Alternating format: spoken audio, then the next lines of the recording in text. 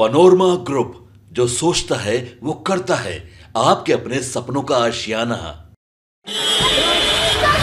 शर्म करो शर्म करो शर्म करो पुलिस प्रशासन हाय हाय हाय हाय Incoming voice call from plus nine one seven two five four zero seven five four one eight.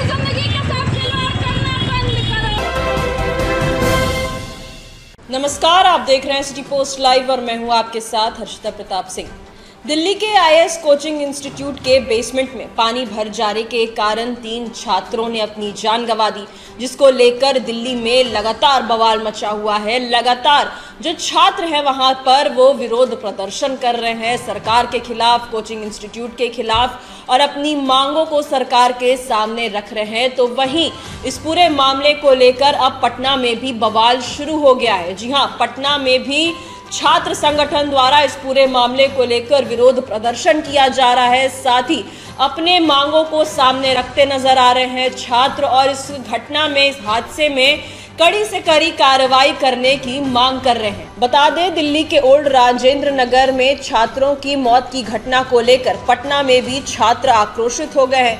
मंगलवार के दिन छात्र संगठन दिशा की ओर से पटना के बिखना पहाड़ी इलाके में सरकार और एमसीडी पर लापरवाही बरतने का आरोप लगाते हुए प्रदर्शन किया गया है। प्रदर्शनकारी छात्रों का कहना है कि छात्रों की मौत नहीं, बल्कि व्यवस्था जनित हत्या की गई है। छात्र इस पूरे मामले को लेकर अपनी मांगे सामने रख रहे हैं। छात्रों की मांग है कि जिम्मेदार लोगों के खिलाफ सख्त कार्रवाई की जाए।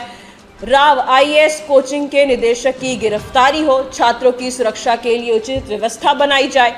पटना के सभी कोचिंग संस्थानों में सेफ्टी मानकों की जाँच की जाए। कोचिंग संस्थानों में केंद्र के गाइडलाइंस के खिलाफ पढ़ाई न हो। बिल्डिंग के अग्नि सुरक्षा, बिल्डिंग कोड, उचित विद्युतीकरण में भी कमी की बात कहते नज़र आए हैं छात्र। छात्र वारुणी ने बताया कि दिल्ली में तीन छात्रों की मौत दिल्ली सरकार एमसीडी और प्रशासन की लापरवाही से हुई है। यही हालात पटना के तमाम कोचिंग सेंटर में है। यहाँ भी घुटन भरे कमरों में सैकड़ों छात्र अपनी कक्षाएँ अटेंड करते हैं। कई छात्र कोचिंग संस्थानों में बेहोश होकर गिर भी जाते हैं। स्थिति पर सरकार को जवाबदेही लेनी चाहिए। सरकार मौन है। जवाबदेही नहीं ले रही है। ऐसे कोचिंग संस्थानों के ऊपर कार्रवाई हो, व्यवस्था में सुधार हो, इसको लेकर प्रदर्शन कर रहे हैं। वहीं पटना डीएम डॉक्टर चंद्रशेखर सिंह ने पटना के कोचिंग संस्थानों के अंदर सेफ्टी मानकों की जाँच के आदेश दिए हैं। इसके लिए एक जाँच दल का गठन किया गया है। इसमें अनुमंडल पदाधिकारी अनुमंडल अग्निमिशन पदाधिकारी नगर कार्यपालक पदाधिकारी अंचलाधिकारी और थानेदार को शामिल किया गया है।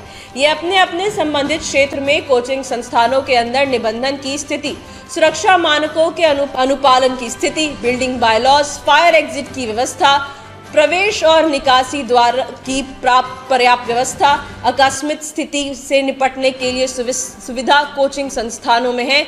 इस बिंदु पर जाँच की जाएगी और इन तमाम मांगों को लेकर जो छात्र है, वो पटना में भी अब प्रदर्शन करना शुरू कर चुके हैं। दिल्ली में इस मुद्दे को लेकर लगातार छात्रों द्वारा विरोध प्रदर्शन किया जा रहा है। कोचिंग इंस्टीट्यूट के खिलाफ, दिल्ली सरकार के खिलाफ और कड़ी से कड़ी कार्रवाई की मांग की जा रही है और अब इसका पूरा असर पटना में भी देखने को मिलने लगा है। तीन छात्रों ने इस घटना में जान गंवा दी है, जिसमें बिहार की बेटी भी शामिल थी।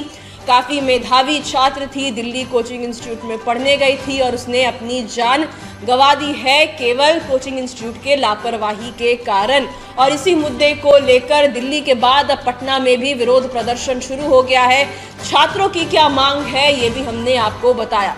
फ़िलहाल इस खबर में इतना ही। आप आगे की खबरों के लिए देखते रहिए सिटी पोस्ट लाइव। इस वीडियो को लाइक करें, शेयर करें और चैनल को सब्सक्राइब करना ना भूलें। धन्यवाद।